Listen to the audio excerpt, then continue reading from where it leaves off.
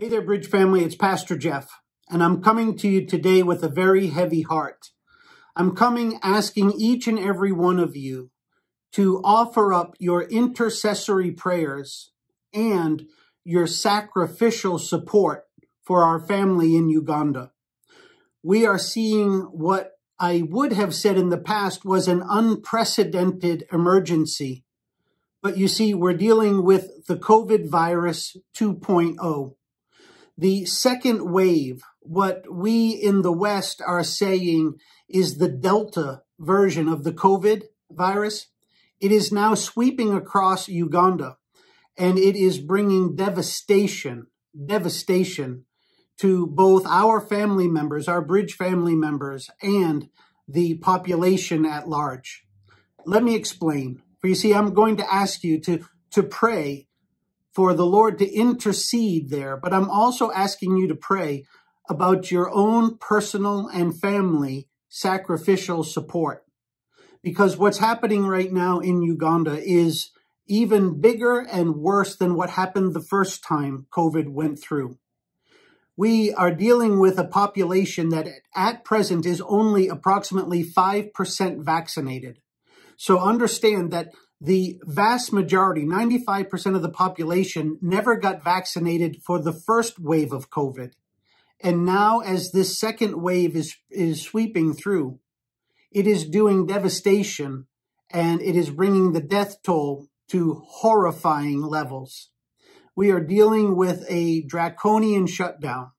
The government has once again, about three weeks ago, just immediately shut down the country without folks having an opportunity to prepare or get supplies. And so if you weren't well stocked, and it's near impossible to be well stocked, and if you didn't have a surplus of funds, and hardly anybody would ever have a surplus of funds, well, you're dealing with and looking into the face of starvation. And that's happened. Now, in response, praise God, we have been able, the Bridge family, we have fed the Bridge family for the last three weeks. Most of you know that there was a mission trip that was scheduled. I and Brock and Griffin were going to go. And the money that was allocated and set aside for that trip has, in the last three weeks, been consumed in bringing food and medical supplies, some sanitation essentials, and what would be needed to the people. By God's grace, our brother, our servant leader Moses, as a national social worker, has access to the country.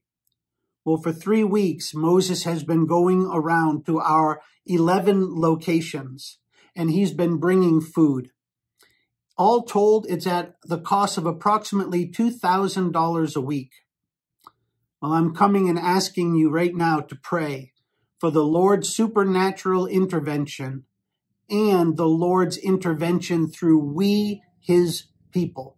That we, the church, would get to be the church and continue to bring loving support, to bring food, to bring medical supplies, to stand in the gap once again, as we did last year when the COVID virus first swept through and we fed these 167 families for months We've done it now for three weeks and we're at the place where I, as the servant leader of our bridge family, I need to come to you and I need to ask you to prayerfully go before the Lord and ask him to do the miraculous work that only he can do.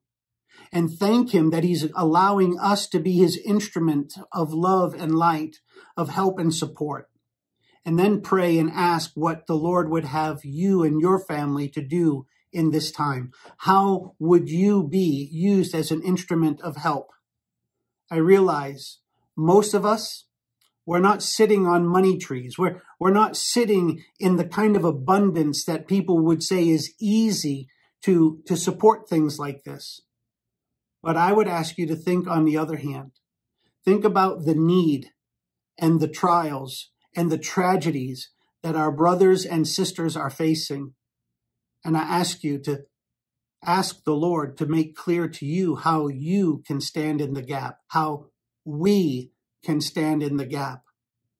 I want you to know that we are seeing the types of support and sacrifice that is truly inspirational.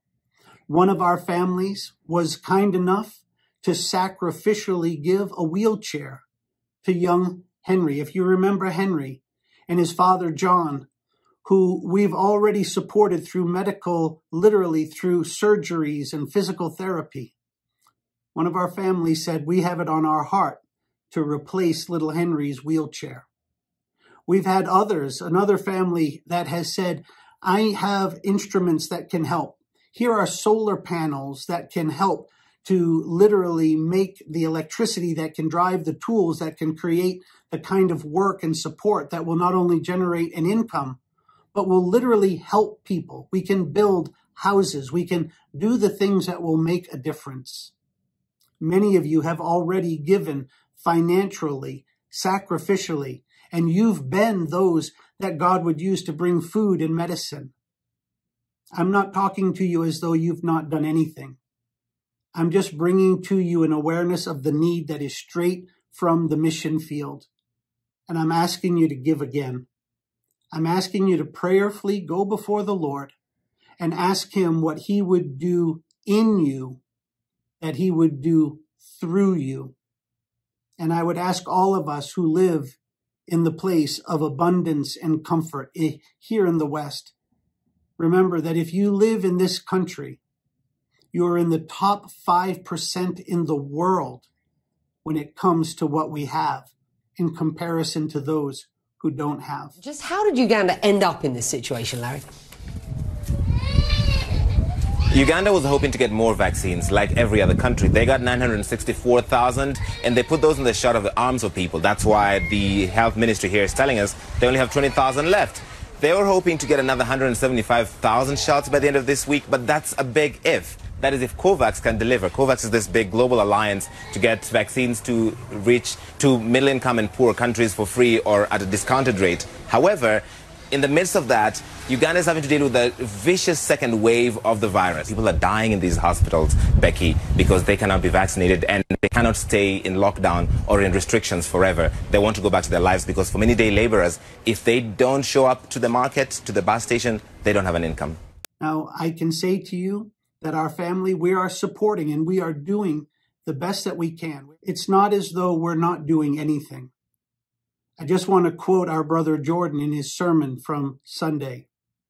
We've been called to exhaust the day, to exhaust the day to the glory of God. It's very difficult to do that in the midst of hurting brothers and sisters if we don't first exhaust the day to come by their side to be the hands and feet of Jesus to those who desperately need to see him in action. May we be the ambassadors of Christ who step in not just to teach where teaching has been wrong, not just to bring right where others are doing wrong, but may we be the ambassadors for Christ who step in where the needs are greatest. If the Lord has laid something on your heart, or if He does in the next hours or days, please reach out to me directly and let me know. As our elder team will be meeting this evening, and as we begin to put together our going forward support plan, if God has laid something on your heart, please let me know so that we can proactively build into the plan what God has provided to you and what God will be providing through you. As always, I want to say thank you for your heart and thank you for wanting to be the people that will one day hear our Lord say, Well done, faithful slaves, well done.